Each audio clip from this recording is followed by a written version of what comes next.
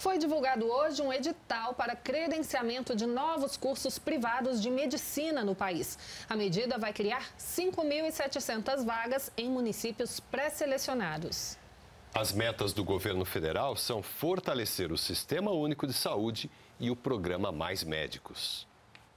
Um edital lançado hoje pelos Ministérios da Educação e da Saúde traz os critérios para instalação de novos cursos particulares de medicina em 1.719 municípios brasileiros.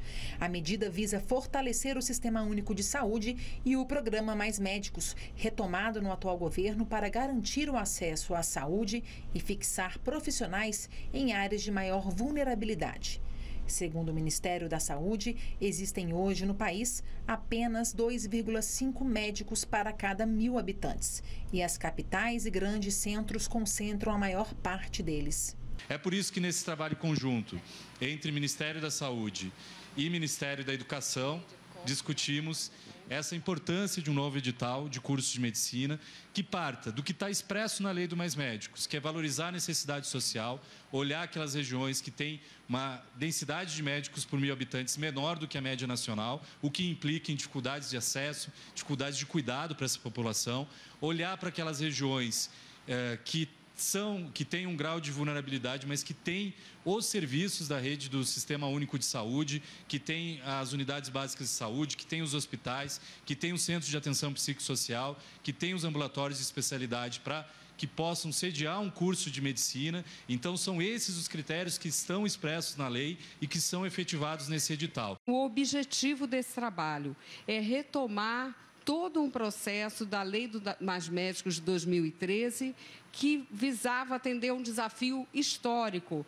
que eu remontaria ao século XIX no Brasil. O fato de a maioria da população brasileira não ter acesso ao profissional médico. A meta do Brasil nos próximos 10 anos é atingir o um indicador de 3,3 médicos por mil habitantes, que é o recomendado pela Organização para a Cooperação e Desenvolvimento Econômico, OCDE.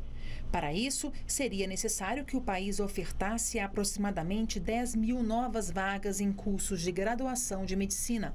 O edital, lançado hoje, prevê a oferta de 5.700 novas vagas em 95 cursos. Esse edital ele é voltado às mantenedoras de instituições de ensino superior privadas. Cada mantenedora poderá é, apresentar, no máximo, duas propostas. É, e cada uma, uma proposta por unidade da federação, por estado. Entre os critérios para a escolha dos 1.719 municípios estão apresentar média inferior a 2,5 médicos por mil habitantes, possuir hospital com pelo menos 80 leitos e demonstrar capacidade para abrigar o curso.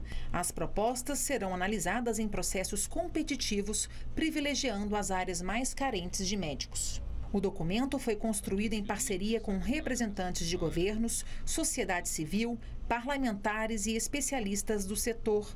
Futuramente, para atender a meta da OCDE, o governo prevê criar outras novas vagas em instituições federais e privadas. Foi feito tudo com muita, muito diálogo, de forma técnica.